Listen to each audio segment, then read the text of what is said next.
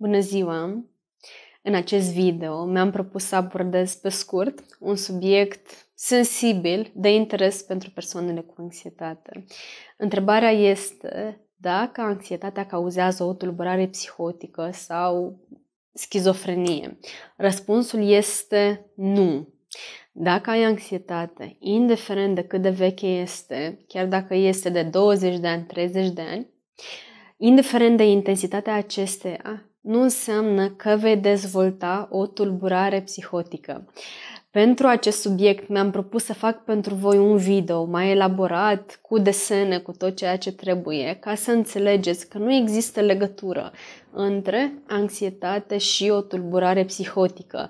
În niciun caz o tulburare cauzală, adică în niciun caz anxietatea nu cauzează tulburare psihotică.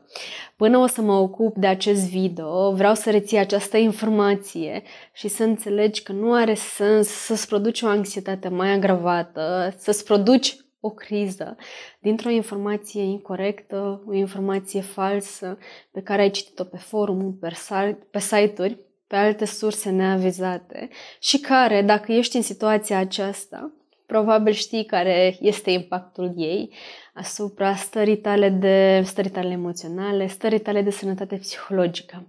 Deci, răspunsul este nu. Anxietatea nu cauzează o tulburare psihotică. Pe site-urile avizate vei găsi aceeași informație pe care eu ți spun aici. Eu vorbesc despre acest lucru pe pagina mea de Facebook numită Viața fără anxietate, pe care te invit să o urmărești. Acolo postez articole în scris pentru că este mai simplu. Timpul îmi permite mai mult să scriu un scurt mesaj decât să filmez, cel puțin în această perioadă. Însă promit că mă voi ocupa și de acel video pentru tine, astfel încât tu să înțelegi diferența dintre anxietate, anxietate față de psihoză, anxietate cu elemente psihotice și o tulburare psihotică. Anxietatea face parte din categoria nevrozilor așa sunt considerate, adică frici, îngrijorări, agitație, gânduri despre viitor, o multitudine de frici, însă psihoza face parte din tulburările psihotice, care înseamnă o deconectare sau o deteriorare a contactului cu realitatea, cu prezentul.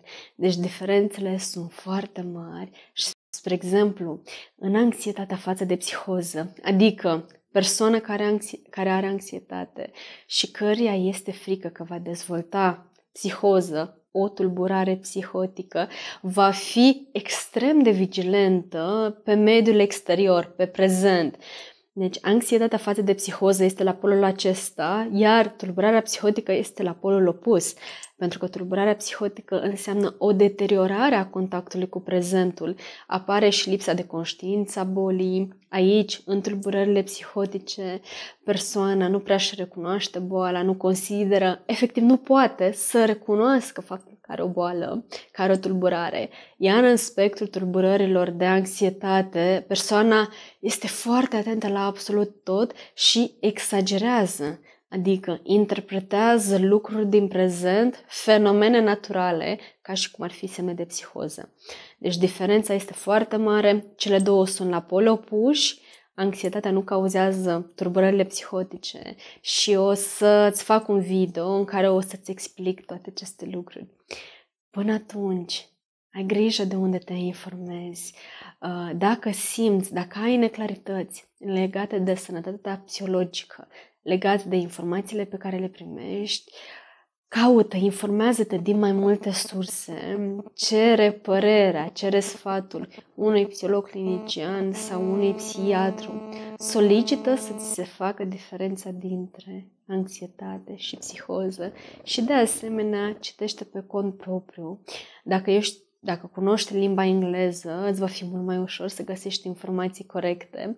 Eu predominant citesc nu chiar predominant, în general citesc doar în engleză și pot spune că sunt site-uri, sunt institute de sănătate mentală care prezintă corect toate aceste informații.